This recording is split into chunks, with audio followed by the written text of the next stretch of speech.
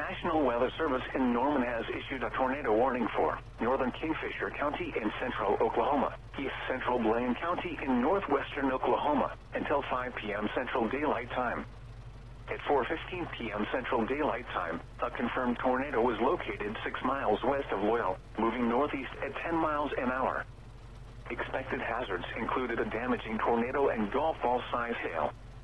A tornado has been confirmed by train spotters. The following impacts are expected. Flying debris will be dangerous to those caught without shelter. Mobile homes will be damaged or destroyed. Damage to roofs, windows, and vehicles will occur. Tree damage is likely. Locations impacted include Hennessey, Dover, Hitchcock, Loyal, and Lacey. To repeat, a tornado is on the ground. Take cover now. Move to a storm shelter, safe room, or an interior room on the lowest floor of a sturdy building. Avoid windows.